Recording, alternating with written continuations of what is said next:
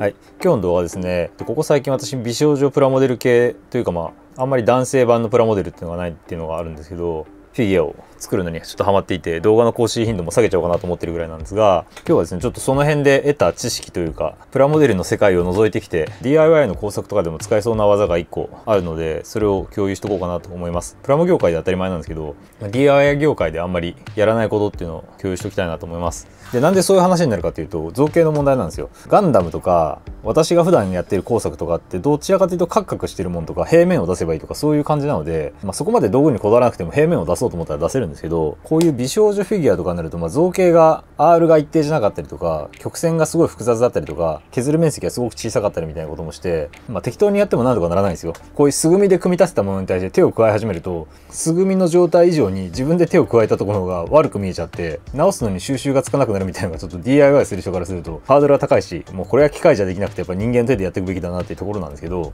そういう加工があります。でその中でも合わせ目消しっていうのがあって今これ子供用のフィギュアやってるんですけどこういう稼働はしないんだけどプラモデルみたいなのってこれ前後でカポって合わせてるんで大体ここに線が1本入ってるんですよ。でそこに隙間があったりとかなかったりとかするのでそれを塗装する前に綺麗に埋めるって作業をしてこれ今埋めた後なんですけど、まあ、ここに本当は線が1本ピーッと走ってるんですよ。ちょっとうっすら見えるかな、まあ、模様状にうっすら見えるかもしれないですけどもう凹凸はなくなってる状態に削ってあるんですけど、まあ、塗装する前にそれを消す作業をやっぱりやりたくなるのでこのバンダイのクイックシリーズで家の中にあるものを全部合わせ目も消してると思うんですけど手で一生懸命紙やすりでやするって感じになります。その時にやっぱり何らかの方法で埋めなきゃいけないんですけど DIY っていう感覚だとパテを使ったりとか、まあ、3D プリンター持ってる方だとレジン使ったりとかいろんな方法があると思うんですけどどうしてもこの隙間を埋める材質よりもそのパテとかレジンの方が硬くてこれを後で研磨するとどうしてもそのパテとかレジンが削れる前にボディの方が削れてっていつまでたってもフラットにならんみたいな問題がまあ、ずっと付きまとうかなと思います。私もあの ABS とかだと IPA につけたりとかして溶かしたプラモ業界でいうといわゆる溶きパテになるんですけど、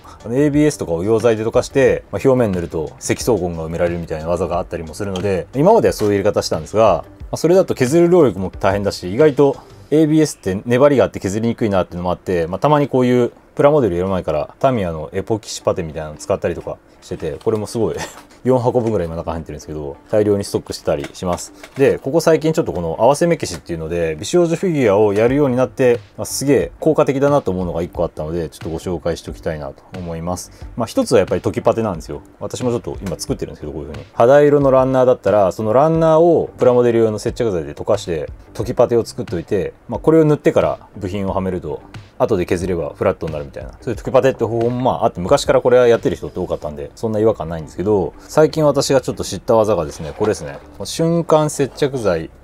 タルク、まあ、この2つの組み合わせがねすごく便利だってことに最近気づきました、まあ、プラモ世界やる前から風の噂でこの低粘土速攻っていう瞬間接着剤があってこのものは瞬間接着剤なんですけどまあ削るのもそこまでハードル高くないみたいなこれ専用のプラモデル用で売られてる専用の接着剤みたいなのもあったりしてこれを使ったりもしたんですけどやっぱこれはちょっとコスト的に金がかかるんで私もちょっとあんまり便利なんだけど時間を金で買ってみたいな感じになるのがちょっと嫌でこれあんまり使わないようにしてるんですけど最近ちょっとこの子供がいたがゆえにすぐ試してたっていうところでちょっとこれが良かったんですけど私の場合はプラモデル作り続けてるわけでもないんで開けた瞬間から固まり始めるのは嫌だなと思ってこういうちょっとパッケージが小分けになってるのを大量に買ってるタイプなんですけどゼリータイプの瞬間接着剤か普通の粘土の瞬間接着剤でもいいんですけどそれとこの子供用のベイビーパウダーでもこの成分の主成分がタルクのものはそのパテとして使うのにすごく便利みたいです。言われた通りにやったらめっちゃ便利でした。今日話したいのは本当それだけです、まあ、瞬間接着剤をパテの代わりにバーッと埋めて塗ってそれを後でヤスリで削るっていうのをやるとやっぱり瞬間接着剤が硬いのでなかなかそこだけを削り取るって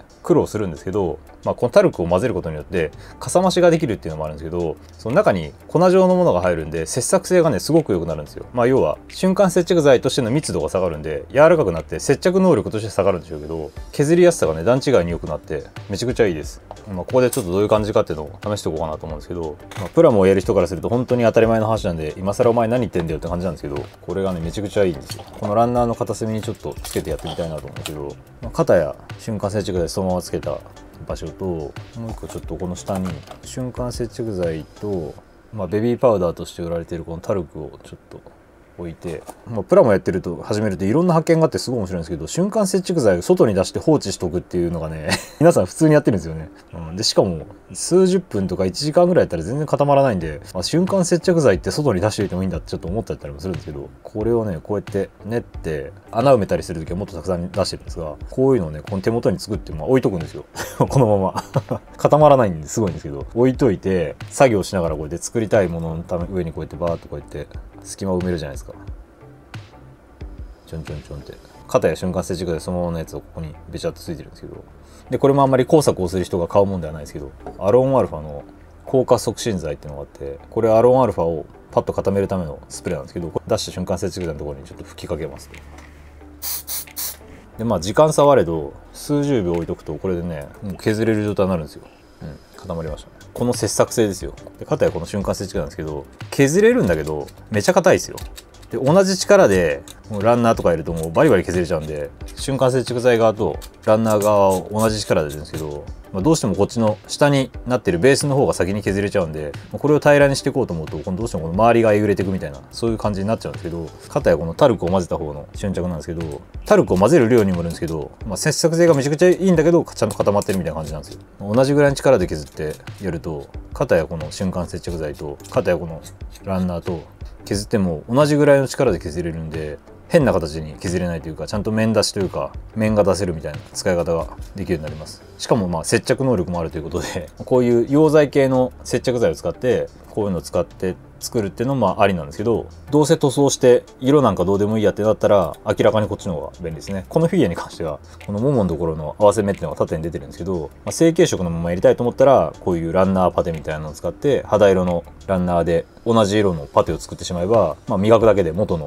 パーツと同じ色になるんで塗装しなくても合わせ目が見えなくなるという感じで硬化するのにすごい時間かかるんでゆっくり待ってられるんだったらまあこれが一番ベストだと思うんですけどその場でパッと作業を終わらせることができないっていう観点で言うとちょっとデメリットもあるかなって感じなんですが肩やこの瞬間接着剤でタルクを使ったものに関しては、まあ、さっきの硬化スプレーを使ったらもうその場で削り始められるんで合わせ目が綺麗に埋まりはするんだけど色がまあタルクの色になっちゃうんで後から塗装して消すことが重要にはなっちゃうんですけどその代わりに時間がない人でもパッとできる作業かなっていう感じがします。このフィギュアはその方法でやってるんですけど足のこのふくらはぎのとこに真横に、ま稼働しない継ぎ目が1本あったりしたんですけど、まあこれはタルクで埋めて削った後に塗装してやってるって感じですね。はい。そんな感じなんで光造形のレジンなんかのサポートの跡とかを消すのは、まあ私昔瞬間接着剤そのまま使ってやったりしたんですけど、圧倒的にタルクを使うようになってからやりやすくなってるなっていう印象がありますし、まあ FDM とかだったら今まで皆さんが得られたこのランナーパテというか ABS パテみたいなのを使ってやるか、まあ、その代わりに塗装するんだったらこういうのを使うみたいな言い方もありかなと思いますね。で私がこの方法にメリットを感じたのはコストパフォーマンスですね、やっぱり。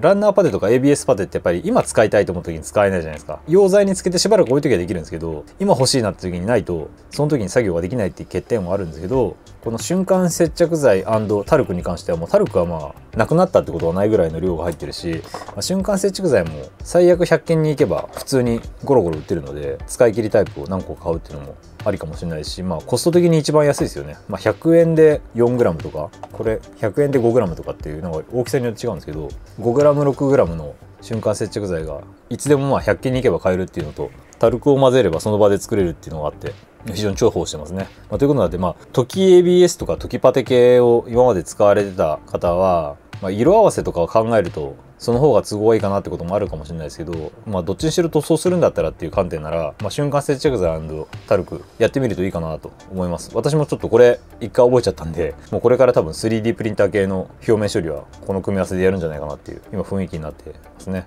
はい、そんな感じでちょっと今日はフィギュアからものづくりつながりですけど、瞬着プラスタルクの即席パテっていうののお話でした。